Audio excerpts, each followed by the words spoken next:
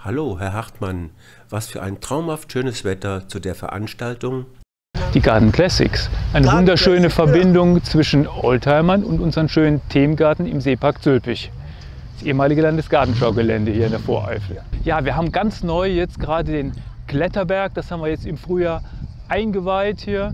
Das ist eine schöne neue Attraktion hier, gerade für kleinere Kinder, die für unseren Kletterpark noch ein bisschen, ein bisschen zu unerfahren sind. Das ist etwas für die, für die drei- bis zehnjährigen, würde ich mal sagen. Da ist jede Altersstufe hier auch etwas dabei. Auf die Ausrichtung der Veranstaltung haben Sie zwei Jahre warten müssen. Wie geht es Ihnen damit? Das ist, wir sind hellauf begeistert jetzt, dass wir endlich nach dieser langen Durststrecke wieder eine größere Veranstaltung durchführen dürfen. Viele, viele tausend Gäste haben den Weg hier in die Voreifel, in den Gartenschaupark, den Seepark Zülpich gefunden und sie sind alle begeistert hier von der tollen Kombination aus Themengärten und Oldtimer-Ausstellungen.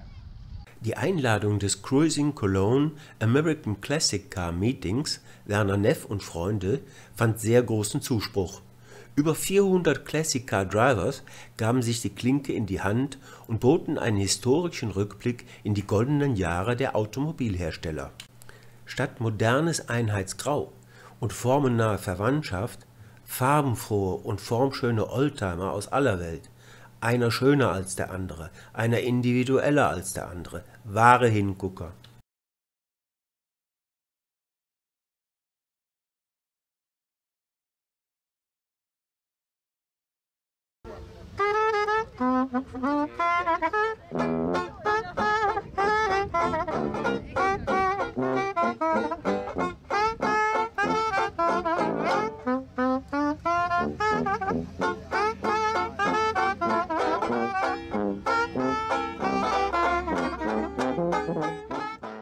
Die Attraktion für Jung und Alt ist der Flying Fox.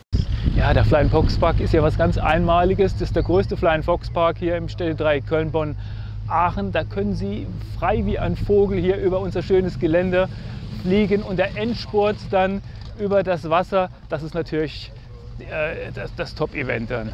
Der Seepark bietet ein vielfältiges Jahresprogramm. Welcher Event steht als nächster auf dem Terminkalender? Ja, das geht jetzt Schlag auf Schlag. Schon am nächsten Wochenende startet das Hüpfburgen Festival, das äh, über eine Woche lang auch gehen wird hier. Da wird der Park insbesondere von vielen jungen Besucherinnen und Besuchern bevölkert sein. Heute hatten wir ein bisschen älteres Publikum, wobei auch die Jüngeren natürlich von den Oldtimern mehr und mehr begeistert sind. Aber das Hüpfburgen-Festival orientiert sich natürlich an, an den Kindern. Wassersportler nutzen bereits das schöne warme Wetter. Ab wann wird die Badesaison eröffnet?